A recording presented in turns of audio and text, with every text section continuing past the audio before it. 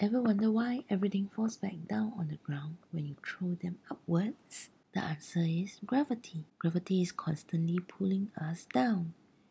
In fact, gravity is pulling everything down so constantly they will fall at the same rate if we neglect air resistance. Up here and hopefully they'll hit the ground at the same time. How about that? Cameras on.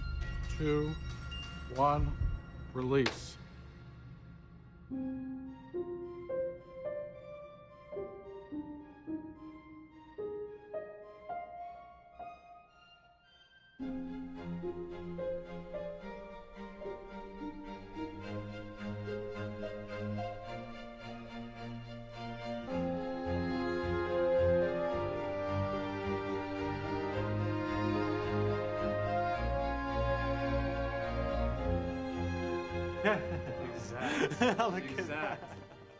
We all exert gravitational force. The force pulls on every mass, so a more massive object exerts a greater gravitational force. Look around you. What's the most massive around us? The Earth. Gravity makes a lot of things happen. When you step on a scale and see your weight, well, that's because of gravity. Gravity pulls constantly on every 1 kilogram mass on the surface of the Earth. So the number you see is the gravitational force acting on you. A more massive object will experience a greater gravitational force.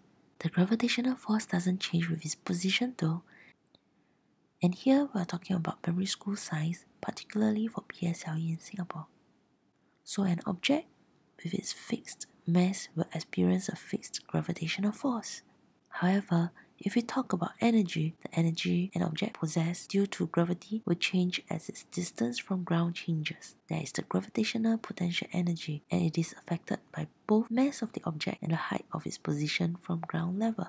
I hope you find this video helpful and you can better understand gravitational force and gravitational potential energy. All the best for your PSLE. If you enjoyed this video, please give it a like and consider subscribing to watch more. Thank you for watching.